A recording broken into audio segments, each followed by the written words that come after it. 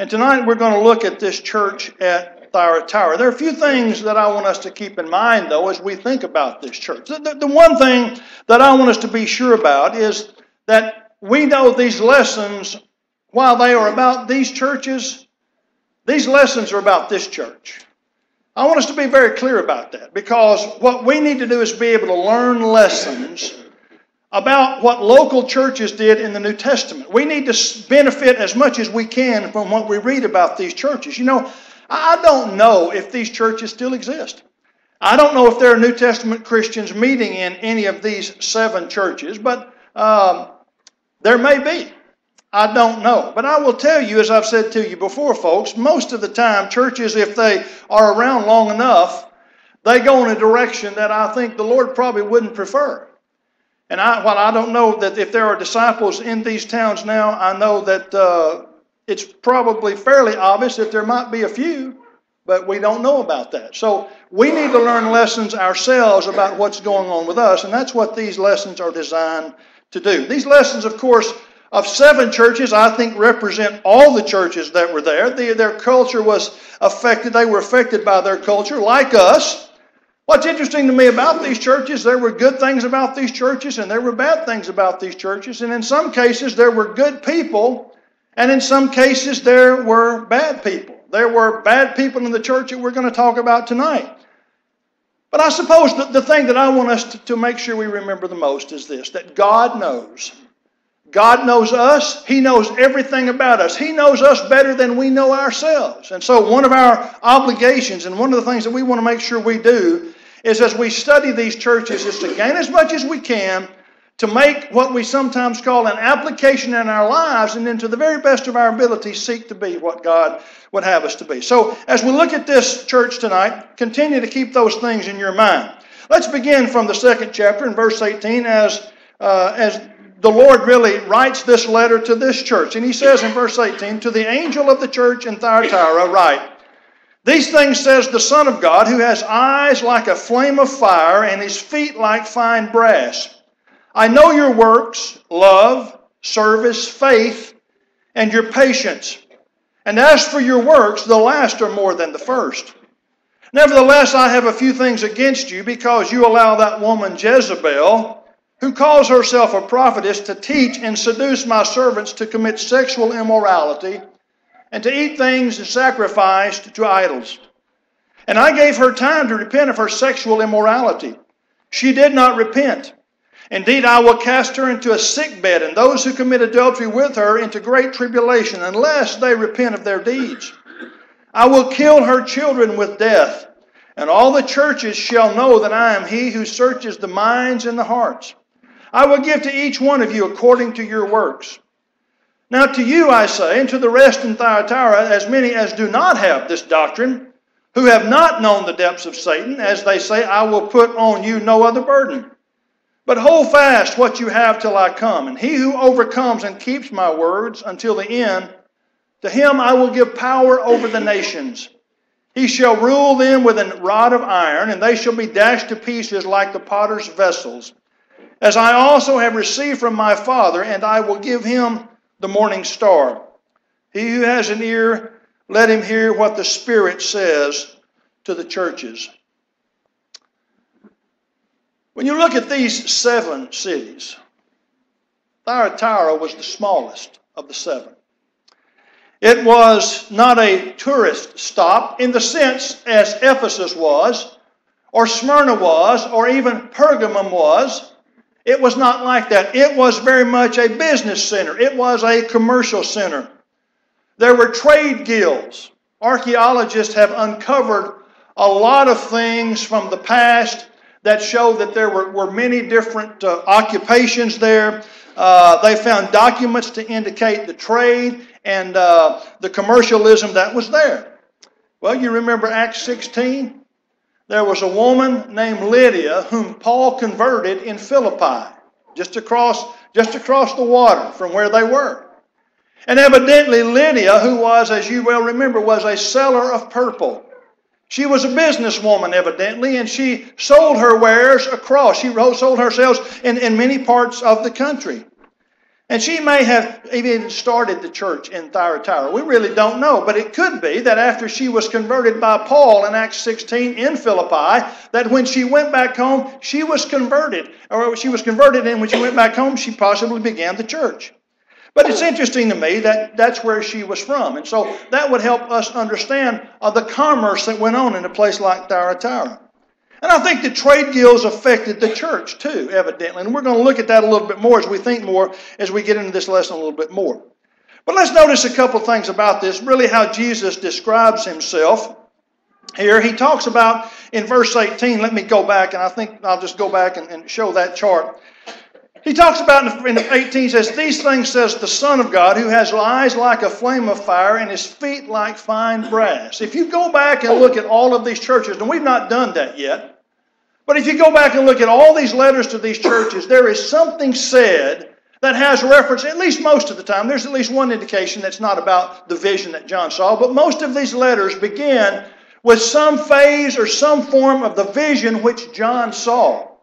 And so he's going back, and I think he's doing that to make sure that they understand just who they're dealing with. In this particular letter, he talks about in verse 18, and he talks about him being the Son of God, the Lord being the Son of God. And I think that's really what he's saying is he has no, no part in this paganism and this heathenism and, and all the pagan gods and the multiple gods that the pagans had. Jesus is saying, I have no part in that. It shows his authority and it shows his sole authority, his rule and his right to say what he's going to say. It says that he has eyes like a flame of fire.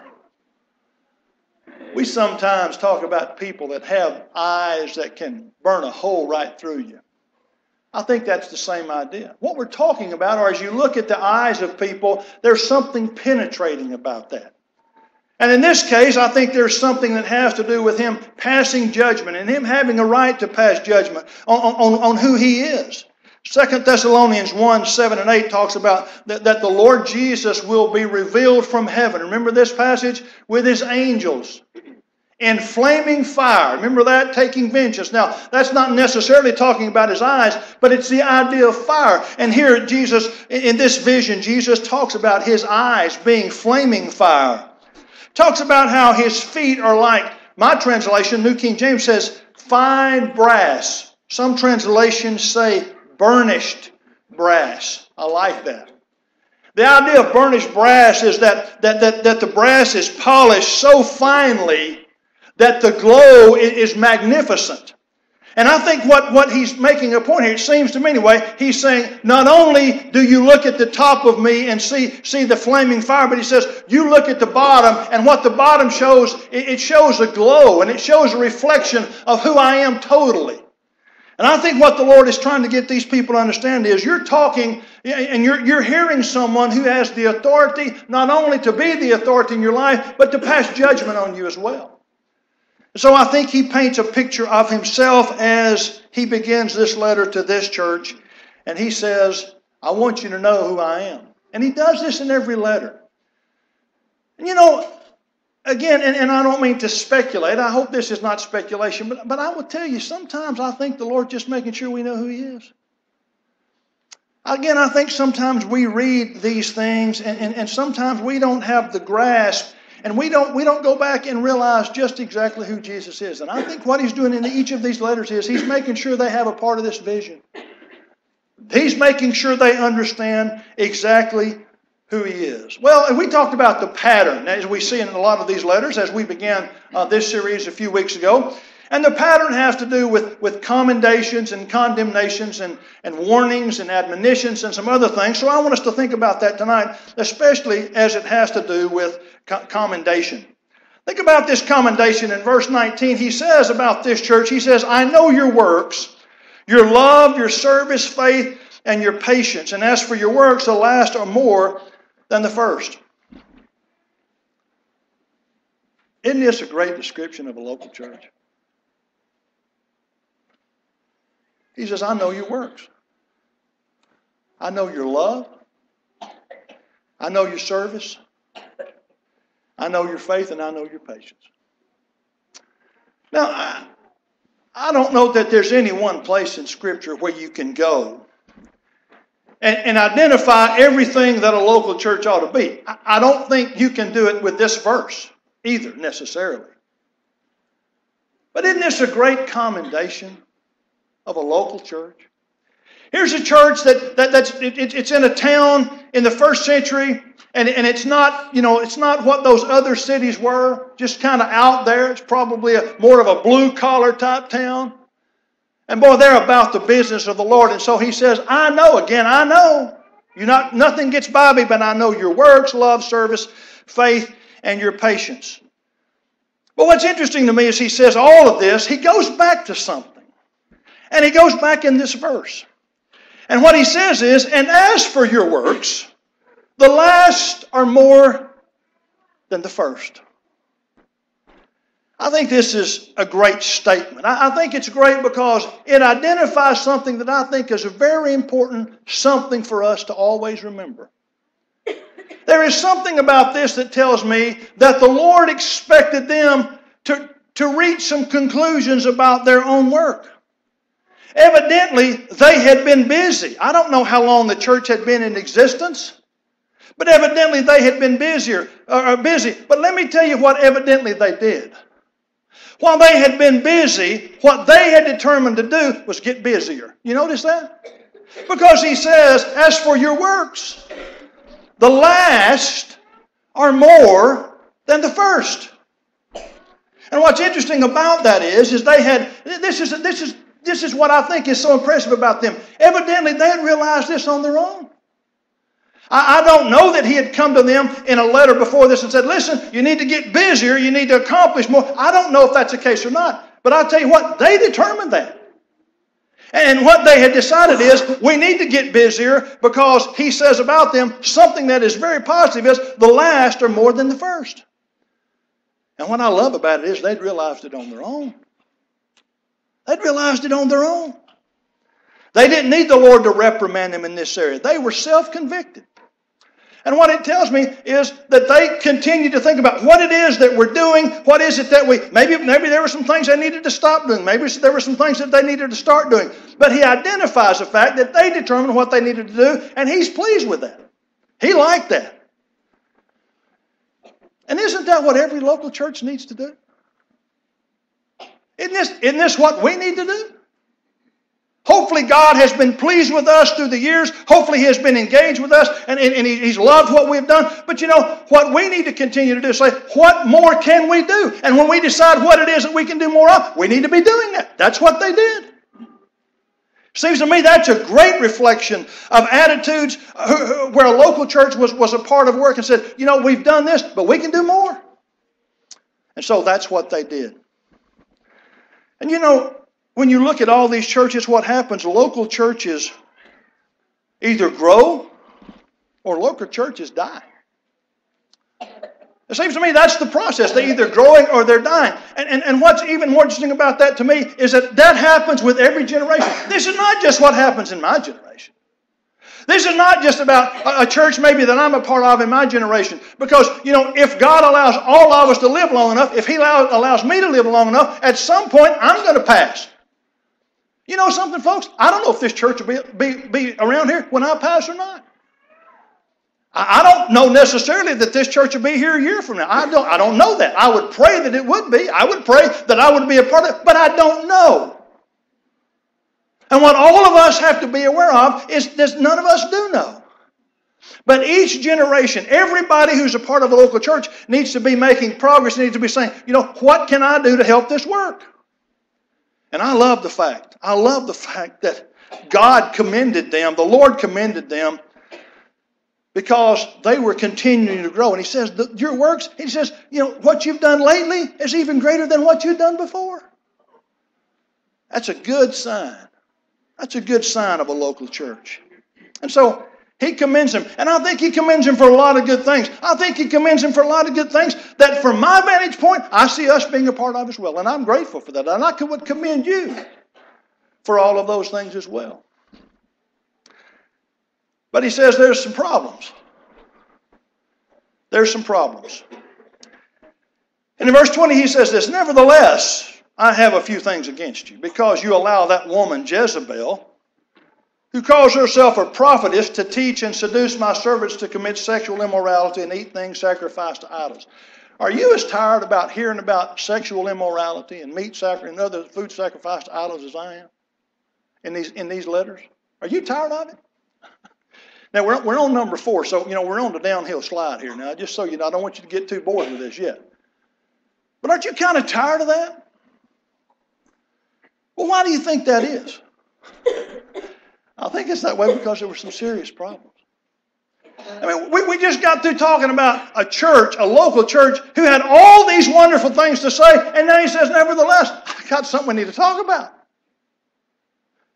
This woman, evidently Jezebel, was being tolerated. Now, a couple questions in reference to. Who is Jezebel? Well, I don't know exactly. It could very well be that there was a woman in the church that was leading a group of people into this kind of behavior. It could be that this is, this is what he calls a, an entire group who's, who's a part of this. Or it may be that the woman who's leading this, maybe Jezebel's not her name, but he doesn't want him to forget her. And so he calls her Jezebel. And they would have known the Jezebel of the Old Testament. the Jezebel who was married to King Ahab, who killed the prophets of God, who was a Baal worshiper, which was involved in sexual immorality and idolatry, which was the essence of what Baal worship was. And he may just be saying, you know, whatever's going on in this church, it's, just, it's the same thing as Jezebel was involved with in the Old Testament.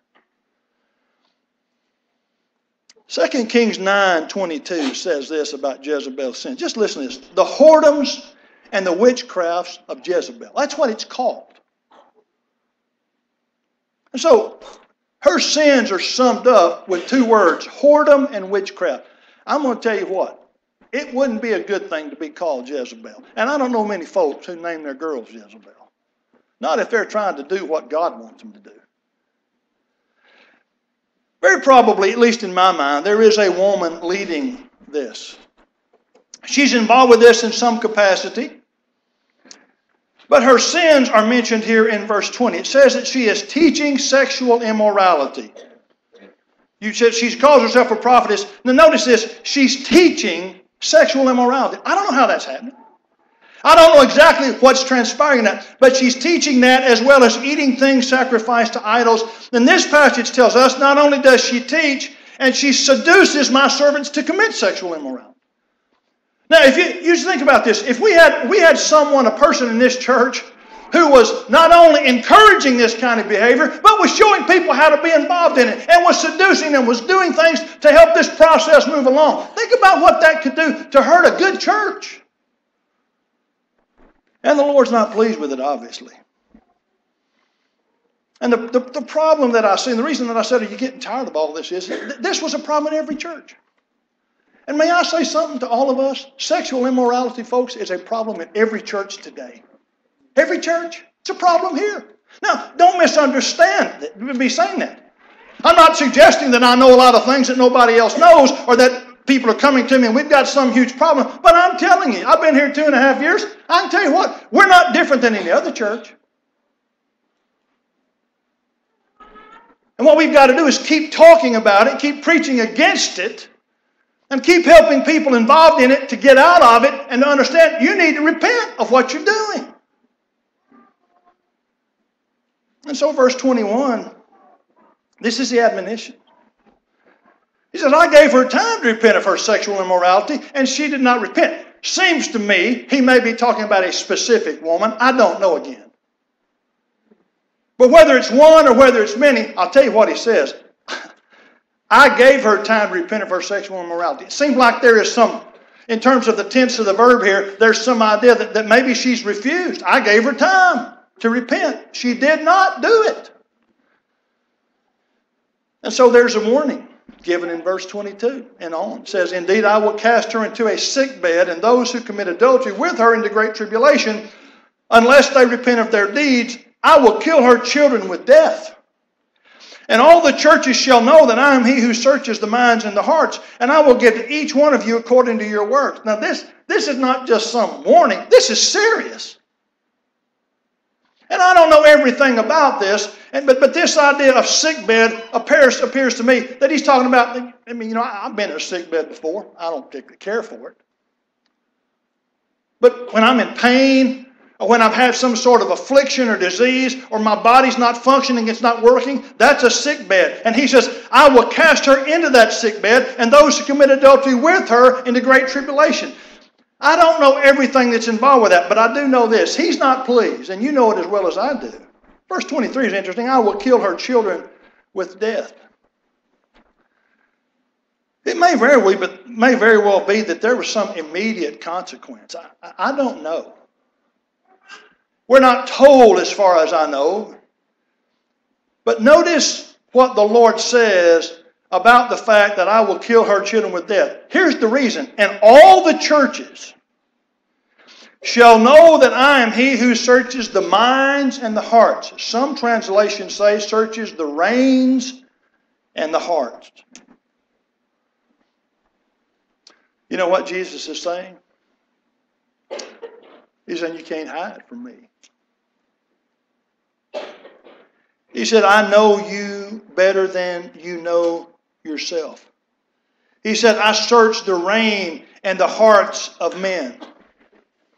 God knows your deep thoughts. You cannot hide from God. Isn't that a problem among people? Isn't that a problem? We, we somehow convince ourselves that God doesn't know. Or we, we sometimes convince ourselves that, you know, we're engaged in, in something that we ought not be engaged in, and somehow it just doesn't matter to God. And I think what God says here, the very thing we need to understand, He says, I search the hearts and the minds of people. You cannot get away from it. It's not going to just go away. Verse 24 says that some were involved in the deep things of Satan. He doesn't say it in the negative, he says in the positive. He says, You aren't. But it obviously, notice the point is, is that some people were involved in the deep things of Satan.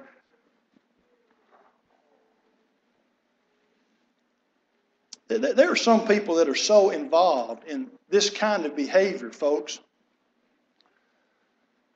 that I think even they don't think there's a way out. And so he is making sure they understand that I know, he says, I know the problem. Now, verse 24 also says that some, some were not involved in these things. And the Lord says to them, I cast no other burden on you. He, he wanted them to maintain their purity. I'll tell you what, my friends, maintaining sexual purity in our day and age can be a difficult thing. It can be a difficult thing in a, in a workplace with all the innuendo and the statements that people make, you know what? I'm not naive to that stuff. You're not naive to that stuff. Some of you see it on a regular basis. Fortunately, my workplace is not like that. Yes, you would expect. It's not. But I don't work where most of you work. I don't work in environments where many of you work. I don't do that. There are other ways in which I have to guard myself against those very things. But what all of us must do is, is we must understand that we need to avoid anything that relates to this kind of impurity and immoral behavior. And so in verse 25, he says, But you must hold fast, or you hold fast what you have until I come. Hold fast what you have till I come. Keep the faith. Don't give in. And then verse 26 and 27 And he who overcomes and keeps my works until the end, to him I will give power over the nations. He shall rule them with a rod of iron. They shall be dashed to pieces like the potter's vessels, as I also have received from my Father. You know, one of the interesting things to me about these statements about God ruling, this is, I think, is, is it goes back to Psalm 2 and Jesus ruling the nations. And we're not going to take the time tonight to go back to that, but I, but I think he's, he's pretty much tying that together. It's part of the throne scene. I want you to go to Revelation, the fifth chapter. Just, just go over a couple of chapters of Revelation 5. And I want to read verses 9 and 10. This is, again, this is part of the, of the throne scene. But notice what the 24 elders and the living creatures do. That this is uh, with the Lord present. And says, And they sang a new song, saying, You are worthy to take the scroll and to open its seals, for you were slain and have redeemed us to God by your blood. Out of every tribe and nation and people and nation, and have made us kings and priests to our God, and we shall reign on the earth. Now, that's royal language. That's royal language about Christ, but that's royal language about us. You see that? He says, You have made us kings and priests to our God, and we shall reign on the earth. Now, think what we need to understand is as, as even as we live in this life, as Jesus Christ reigns and as he rules, in essence, folks, we rule with him. We're a part of his kingdom. We, we are royalty. We, we are a part of a, as the, as the Hebrew writer says, and, and as Peter says, we're a part of a royal priesthood, a holy nation, a people of God, people who are set apart. We, we are a royalty even now. Can't you imagine? As they're hearing this, he says to them first, he says, You hold fast. Hold fast to what you know you ought to be doing. And if you overcome, and that's the idea of conquering. I really haven't talked about that word as much as I probably should have in these earlier lessons. But the idea of overcoming is the idea of being a conqueror. It's being a fighter and, and fighting through the difficulties that you face and ultimately overcoming who the, the problems that you face. And he says, And you keep my works until the end. To him I will give power over the nations. Well, that's who we have. That's who we are. So he wants us to understand that we, in essence, rule with him. And so he gets to verse 28 and he says, And I will give him the morning star. Revelation 22 16. Jesus called him, calls himself the bright and morning star. Just, just think about that a morning star. A star indicates illumination, and, and it's a morning star. It, it, it happens at, at, at really a new time. It's a new day. That's the idea. It's a new day, it's a new dawn. And Jesus calls himself this bright and morning star. So he's saying, I will give the person who maintains their purity and who overcomes, I will give him the morning star. He's in essence saying, I'll give you the morning star. And so he wants them to know, you know, all is not lost. But he says you, you, are, you are tolerating an influence in your group that is destroying some, not all, but it's destroying some. And I, and I call this to our attention first because it's there, and second of all because we need to be aware of it as well. These kind of influences can have a major negative impact in the church of our Lord. We need to be aware of it. I want to mention just very quickly four lessons. These are the things that I would like for you to think about and say, okay, here, here are the main things that Ken, at least Kenny wants us to get from these. Number one is just get busy. Evaluate and get busy. What we've been doing, what we're going to do. Your, your later works, your last works are greater than the first. It's not a declaration that they've been bad, it's a declaration that says they got busy. They started doing more. So, lesson one, get busy. Lesson two, stay pure. What, what a difficult time. And, and, and, I'm, and I'm probably, when I finish this series, you're going to say, I hope I don't hear a lesson on sexual immorality for the next six months or six years for that matter. But, folks, I don't know of any one thing. I don't know of any one sin. I don't know any one, any one thing that, it, that is having such an impact in the lives of so many Christians. And I'm not just talking about the sexual act, I'm talking about things that relate to that. Things like pornography and things similar to that that are, that are just filling the hearts and minds of a lot of Christians. And so we have to be committed to staying pure. There is another lesson that I think we, that we need to learn, and that is that we don't need to compromise. And I didn't really mention this as much, but you know what I have found out in my research and my study about these is that these, these trade guilds were involved in pagan practices. Even what archaeology finds is that there were banquets and other things that were part of these things that people were involved in. And, and really, what was asked of Christians is to compromise what they thought, to compromise what they did, to maybe say, you know, well, a little this is not too bad. And, and what I think we can learn from this is that we don't need to violate biblical principles when we are asked to do things, maybe in our work. I mean, that's what evidently Christians here were, were, were asked to do who were part of these, uh, part of this commerce and a part of this trade. And I would just ask you, are you involved in business that maybe ask you to compromise? And I think what we need to do is that, that when we begin to compromise, it destroys influence. And, and whatever application that maybe it is that you need to make, I would hope that you would do that. One, one of my favorite stories that my father in law told me was that there were there's an occasion in his life where he was going out to the country club and he was playing golf with some men. And one day those men decided that they were going to play for money. And he was a part of that group. And when they got on the first tee, they decided they were going to play for a dime a hole. And before before Lester even got to the tee box, they came to him and said, We know you can't do that. But we want you to play with us anyway. And I tell you that story, uh, first of all, because it means so much to me. Here, here was a man who, who was, was playing golf. I don't know if it was weekly or monthly or whatever, but he was playing with a group of men who, who he had some influence over. I don't know if he influenced them to the point where, where they were actually listening to some things that I know he was probably talking to them about, but he was having some influence. And without him having to say anything, they knew. And he knew that he was not going to compromise those principles.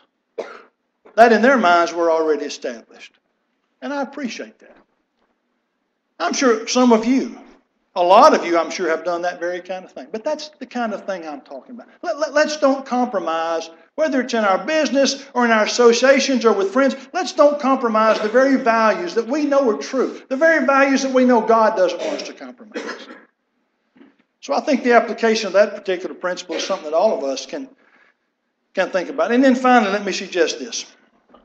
We need to bring forth fruit in keeping with repentance. The call for these people, if they needed to, was to repent. Remember what John the Baptist would say about the Pharisees and the Sadducees in Matthew 3 and verse 8? He says that you need to bring forth fruit in keeping with repentance.